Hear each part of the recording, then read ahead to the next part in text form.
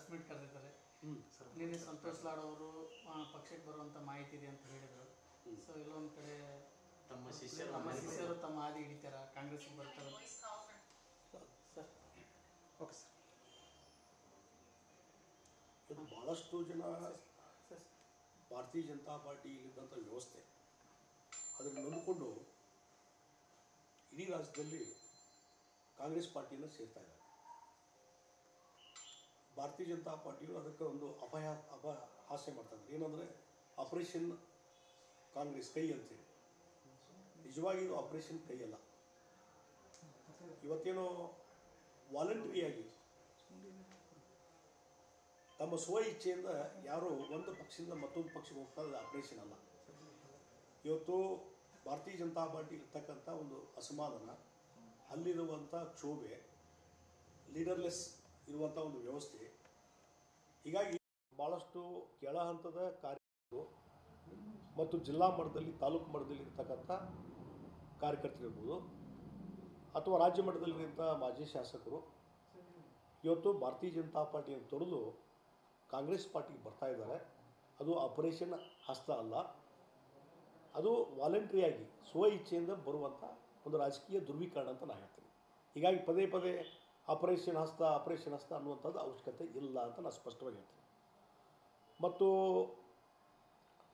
ಒಂದು ಇವತ್ತು ಶಂಕರ್ ಪಾಟೀಲ್ ಮುಡೇನ್ಕೊಪ್ಪ ಅವರು ಪತ್ರಿಕಾಗೋಷ್ಠಿ ಕರೆದಿದ್ದರೆ ನನಗೆ ಅದಕ್ಕೆ ನನಗೇನು ಗೊತ್ತಿಲ್ಲ, ಮತ್ತು ಅದು ನನಗೆ ಸಂಬಂಧ ಇಲ್ಲದಂಥ ವಿಚಾರ. ಮತ್ತು ಮುಡೇನ್ಕೊಪ್ಪ ಅವರು ಭಾರತೀಯ ಜನತಾ ಪಾರ್ಟಿ ಬಿಟ್ಟು ಕಾಂಗ್ರೆಸ್ ಬರ್ತಾರೋ ಇಲ್ಲ ಅನ್ನುವಂಥದ್ದು ನನಗೆ ಇರುವಂಥ ಮಾಹಿತಿ ಇಲ್ಲ.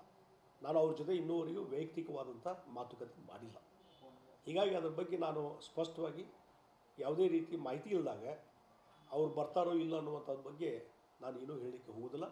ಇವತ್ತೇನು ಪತ್ರಿಕಾಗೋಷ್ಠಿ ಕರೆದಿದ್ದಾರೆ ಅನ್ನುವಂಥದ್ದು ಬೆಳಿಗ್ಗೆ ನಂಗೆ ಮಾಹಿತಿ ಬಂತು. ಯಾವ ಹಿನ್ನೆಲೆಯಲ್ಲಿ ಕರೆದಿದ್ದಾರೆ, ಏನು ಅನ್ನುವಂಥದ್ದು ಅದು ಅವರೇ ಹೇಳಬೇಕಾಗ್ತದೆ. ಈಗ ಪತ್ರಿಕಾಗೋಷ್ಠಿ ಆದಮೇಲೆ ಅದ್ರ ಬಗ್ಗೆ ನಾವು ವಿಚಾರ ಮಾಡ್ಬೋದು. ಮತ್ತು ಇನ್ನೂ ಹಲವಾರು ನಾಯಕರುಗಳು, ಭಾರತೀಯ ಜನತಾ ಪಾರ್ಟಿಯಲ್ಲಿ ನೊಂದು. ಯಾಕಂದ್ರೆ ಇವತ್ತು ಪರಿಸ್ಥಿತಿ ಏನಾಗಿದೆ ಅಂದರೆ ನಾ ಮೊನ್ನೆ ಉಡುಪಿಯಲ್ಲಿ ಒಂದು ಕಾರ್ಯಕ್ರಮಕ್ಕೆ ಹೋದಾಗ ಅಲ್ಲಿ ಹೇಳಿದೆ ನಾನು. ರಾಜ್ಯ ಬಿ ಜೆ ಪಿಯ ಒಂದು ದಯನೀಯ ಪರಿಸ್ಥಿತಿಯಲ್ಲಿದೆ ಮತ್ತು ಡೇ ಬೈ ಡೇ ಅಧೋಗತಿಗೆ ಹೋಗ್ತಾ ಇದೆ. ಒಂದು ಸಂಘಟನೆ ಮತ್ತು ಅಲ್ಲಿ ನಾಯಕತ್ವ ಇಲ್ಲೋ, ಇಲ್ಲದೇ ಇರುವಂಥದ್ದು ಕಳೆದ ಮೂರ್ನಾಲ್ಕು ತಿಂಗಳ ಈಗಾಗಲೇ ಹೊಸ ಸರ್ಕಾರ ಬಂದು ಹಂಡ್ರೆಡ್ ಡೇಸ್ ಆಯಿತು. ಆದರೆ ಇಲ್ಲಿವರೆಗೆ ಯಾವ ಸೂಚನೀಯ ಪರಿಸ್ಥಿತಿ ಇದೆ ಅಂದರೆ ರಾಜ್ಯದಲ್ಲಿ ವಿಧಾನಸಭೆ ಇರ್ಬೋದು, ವಿಧಾನ ಪರಿಷತ್ತು. ಅಲ್ಲಿ ಒಬ್ಬ ಲೀಡರ್ ಆಫ್ ಅಪೋಸಿಷನ್ ಮಾಡಲಿ, ಅವ್ರನ್ನ ನೇಮಕ ಮಾಡಲಿಕ್ಕೆ ಆಗ್ತಾ ಇಲ್ಲ. ರಾಜ್ಯದ ಅಧ್ಯಕ್ಷರ ಅವಧಿ ಮುಗಿದು ಹೋಯಿತು ಅವ್ರನ್ನ ರಿಪ್ಲೇಸ್ ಮಾಡಿ ಮತ್ತೆ ಹೊಸ ಅಧ್ಯಕ್ಷನ ಮಾಡಲಿಕ್ಕೆ ಅವ್ರಿಗೆ ಆಗ್ತಾ ಇಲ್ಲ. ಇದಕ್ಕೆ ಕಾರಣ ಏನು ಅನ್ನುವಂಥದ್ದು ಸಾರ್ವಜನಿಕ ಸಾರ್ವಜನಿಕ ವಲಯದಲ್ಲಿ ಈಗಾಗಲೇ ಚರ್ಚೆ ಆಗ್ತಾ ಇದೆ. ರಾಜಕೀಯ ವಲಯದಲ್ಲಿ ಚರ್ಚೆ ಆಗ್ತಾ ಇದೆ. ಅದಕ್ಕೆ ಕಾರಣ ಕೇಂದ್ರದ ವರಿಷ್ಠರು ಹೇಳಬೇಕು, ರಾಜ್ಯದ ನಾಯಕರುಗಳು ಹೇಳಬೇಕು ಅನ್ನುವಂಥದ್ದನ್ನು ಈ ಸಂದರ್ಭದಲ್ಲಿ ನಾನು ಹೇಳ ಬಯಸಿದ್ದೇನೆ